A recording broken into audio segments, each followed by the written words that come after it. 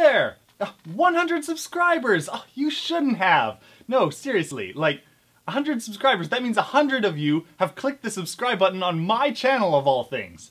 I would love to know why. In the comments, just write down why you subscribed and also what you don't want me to do with this channel. Because I have a feeling that most of you subscribed because of the LEGO tutorials and those are going to be coming in a lot fewer at a time now. I'm going to be doing a little bit more acting and skits and kind of things like that.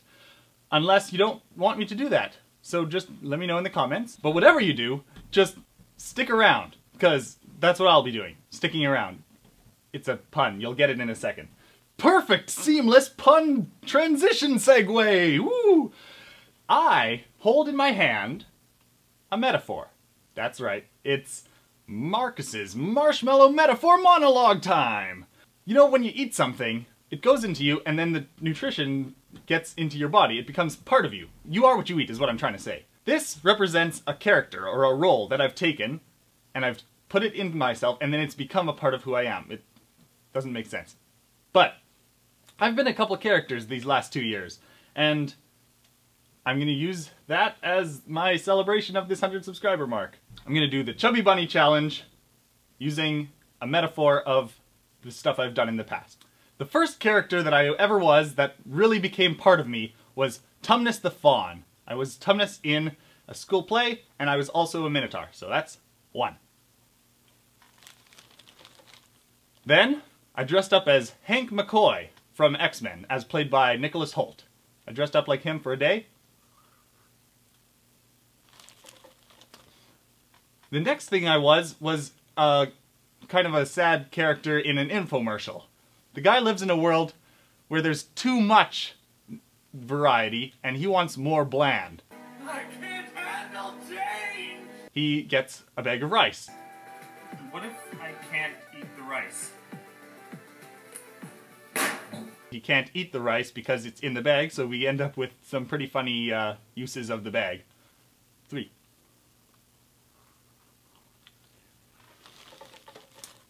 Now, we get into the interesting thing, because I made a little film with four friends of mine for a, a film festival, and I was the mad scientist. I have done it.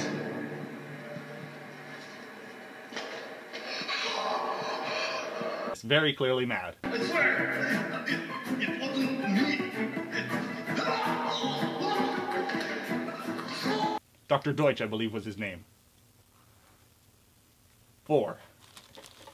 Five. I was in a CSI Miami parody kind of thing. It starts that way, anyways. I guess we've got our man. He's a cop, but then it turns into more of a superhero thing because he turns into a werewolf via uh, a scientific experiment gone wrong.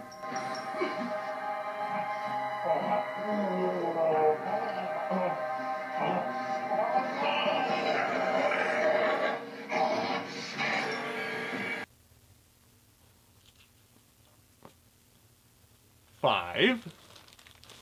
Six. Oh. I made a parody with my friend of the epic rap battles of history. You spilled ink on your face when you wrote this dumb journal. Let me help wash it off in this public urinal. I played Frankenstein and Frankenstein's monster. Ah. Ah. Six. Seven. Okay, this one doesn't count. I'll just throw it in anyway. My brother made a music video and I was the bus driver. I made a really short cameo. Nothing's gonna stop us but the light to check the engine. Go check that out. It's pretty good. Then, in my second year of college, my second production ever, I was Fred, nephew to Mr. Scrooge. I was also the ghost of Christmas future. Oh! Getting a little crowded in here. Uh-oh, filling out. Huh. Ooh. Then we got something interesting.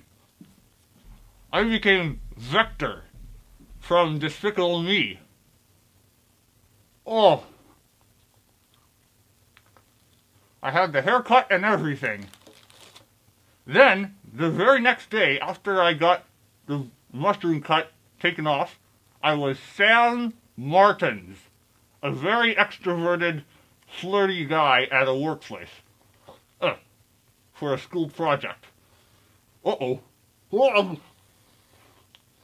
oh. oh no. Then, uh-oh. I dressed up as Kristoff from Frozen. Just for one evening. Oh. Oh.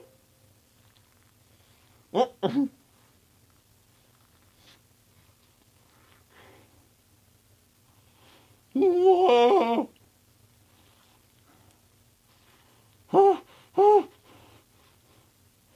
Last but not least, I was the voice of Lumpy in my second Black Bell trilogy.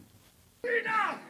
Beneath me! I'm a gorgeous old creature! At least I don't use makeup to accentuate my facial features. You're the Joker, I'm the Ace. I care not what happens to your face. You accuse me of riding the rainbow in space, but you can't even keep your own backstory straight.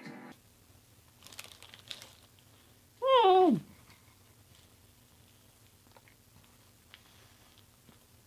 Woo! That's all I have to. Oh, no. I've also been doing in this.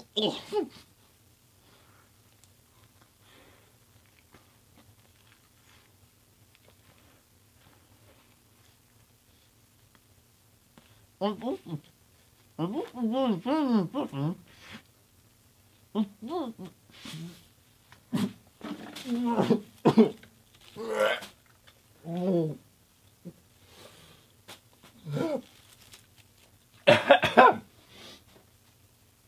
that's all I have for today.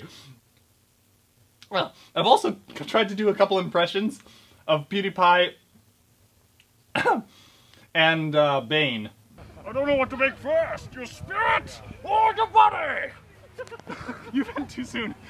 What to break first, your spirit or your body! I put them on my Vine channel. Check it out, I go by the same name. Other than that, um, I've made a submission for Rhett and Link's Good Mythical Morning Time to Spin the Wheel of Mythicality video. I'm Markus Buhler from Manitoba, Canada, and it's time to spin the wheel of mythicality!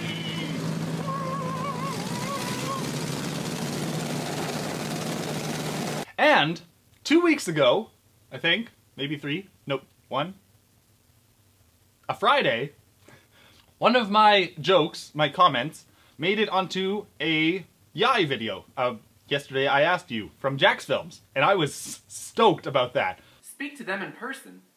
Prison. I only got three seconds of fame, but there it is. Thank you so much for watching this. I'm gonna go wash now. Um, what, how, do, how do I end this? What, what's my outro? Oh yeah, if you liked it, do what, I, why do I have to tell you this? You know what to do if you liked it, you like it. But thank you for watching. Leave comments about why you subscribed in the first place, and have a nice day.